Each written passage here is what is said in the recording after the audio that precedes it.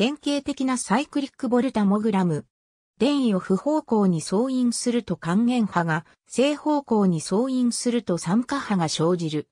それぞれの電位や電流値から測定している酸化還元系の標準電位などが求められる。サイクリックボルタンメトリーとは、電極電位を直線的に送引し、応答電流を測定する手法である。電気科学分野において最も基本的であり、多用される測定法である。最も単純な電気化学系として、オックス E レッドという反応を考える。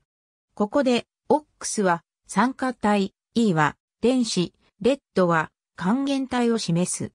例えば測定物質がフェロセンであれば、Fe がオックス、Fe がレッドとなる。また、この系の酸化還元電位はプラス 0.7V とする。また、電極は核酸層の厚みに対して十分に大きい平板電極であり、溶液内の物質移動が核酸のみであるとする。電子移動速度は基本的にはバドラー・ウォルマーの式で記述される電位依存性を持つとし、その固有反応速度定数はある程度大きいものとする。電極電位をプラス 1.1V からプラス 0.3V まで不方向に相違した場合を考えると、電極電位がプラス 0.7V よりもずっと高い時は、還元方向の電子移動速度定数は極端に小さく、電極近傍の物質はすべて、オックスとして存在するが、実際にはこの方向の電子移動は進行しない。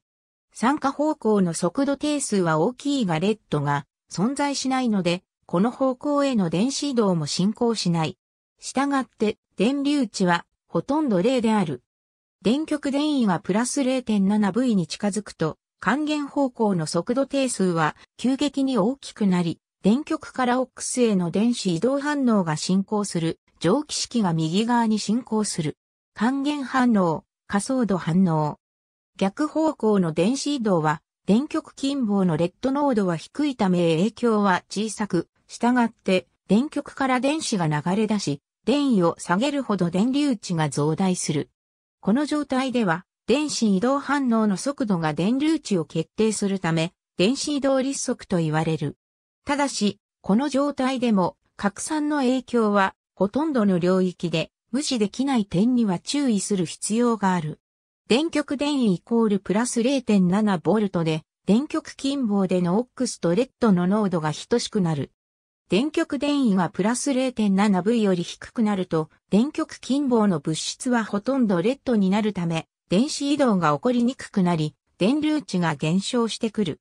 ただし、拡散によって、オックスが少しずつ電極近傍に運ばれ、これが反応するので、電流値がゼロになることはない。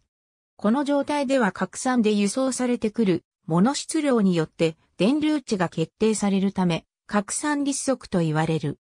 電極電位がプラス 0.7V よりずっと低くなると、電流値は拡散によって移動してくるもの質量に比例し、拡散層の広がりに対応して、経過時間の関数として減少する。この状態では、引火電位は物理的意味を失っていることに注意すべきである。逆方向にプラス 0.3V からプラス 1.1V まで電位を送引すると、レッドが十分に安定な場合は、蒸気の逆の反応が起こり、ほぼ点対称の波形が得られる。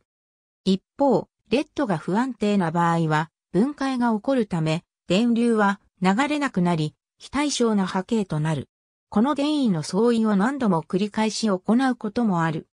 引火した電位を横軸、応答電流値を縦軸とするグラフを描くと、以上の過程により、酸化還元電位付近にピークを持つ特有の形状を持った曲線であるサイクリックボルタモグラムが得られる。